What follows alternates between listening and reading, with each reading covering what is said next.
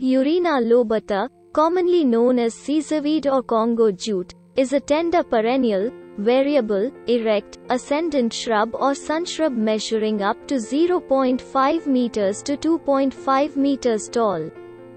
The stems are covered with minute, star-like hairs and often tinged purple.